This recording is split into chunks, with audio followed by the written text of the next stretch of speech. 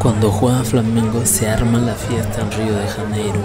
Los bares, restaurantes, todo en general y el estadio Maracaná se arma, se arma un boom, una fiesta. ¿Por qué? Porque el carioca es más hincha, más, es más torcedor, como lo dicen acá, de Flamengo que de Brasil.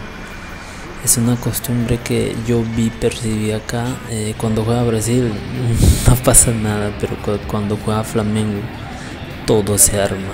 La gente es más feliz, la gente viste la camiseta de Flamengo con orgullo, van a las calles, las casas, los bares. Ahí cuando ves en cada esquina, eh, las personas están ahí celebrando, tomando, bebiendo, comiendo todo por ver al Flamengo. Este, e, ese, ese día que fui a, por primera vez, cuando ya reabrieron después de mucho tiempo la, la pandemia, porque esta es mi primera vez cuando este, asistí, pero no, obviamente no entré, porque hay restricciones todavía, uno que son las vacunas, permisos y compra, compra, demás está cara. Ese día creo eh, jugó Flamengo, la Copa Sudamericana.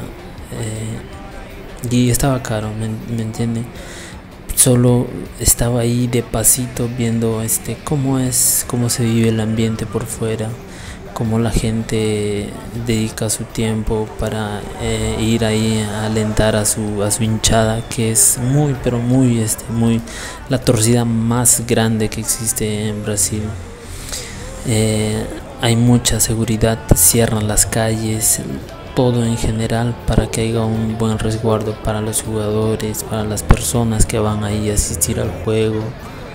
Y es muy, pero muy estricto en algunas cosas, no este, mm, es muy bonito también a la vez. Y es mi primera vez, mi primera experiencia. Y como todo flamenguista, eh, siempre deben ir a, a la playa Ipanema, playa de flamenguistas. Muy pronto iré ahí a torcer adentro de Maracaná. Chao. Nos vemos, pelotudos. Cuídense.